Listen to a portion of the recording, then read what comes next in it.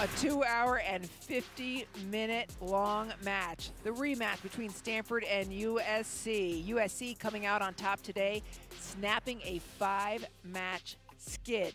Stanford won for the first time in the Galen Center since 2016 on Friday night.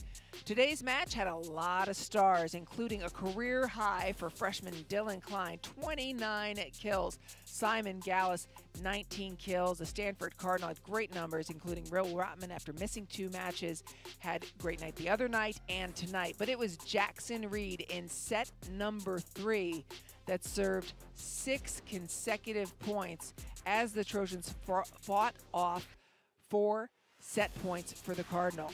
Trojans come out on top, split the series with Stanford.